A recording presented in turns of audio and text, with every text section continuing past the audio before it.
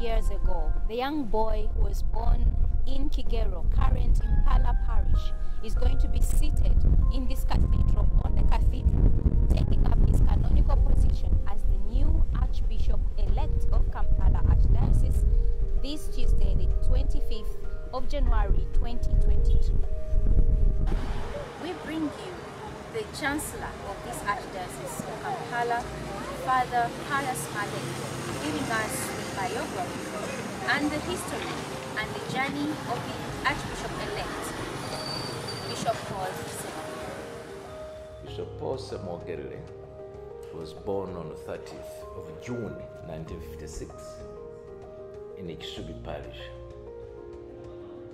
at a place called Kigero. At the moment, this place, this uh, outstation is a new parish called Impala. By the time he was born, it was in Ikisubi Parish. But at the moment, his uh, outstation falls in a, a new parish called Impala. In the Kampala Archdiocese, his education background, he started his primary education in a, a local village school called Kigero Primary School. That was 1964 to 1966. From there, he moved to a school called Kisubi Boys Primary School. That's 1967 up to 1971. From Kisubi Boys Primary School, he went to Katende Secondary School, where he finished his O-level certificate.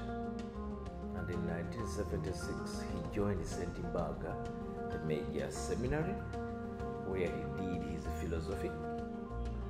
After finishing his philosophy excelling very well in philosophy, so he was referred to United States of America in uh, St. Francis Seminary or St. Francis uh, University in Minnesota, where he did his master's in uh, theology.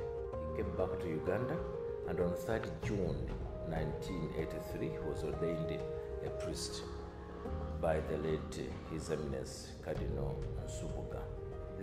At St. Baga Major Seminary, being that they were the first batch of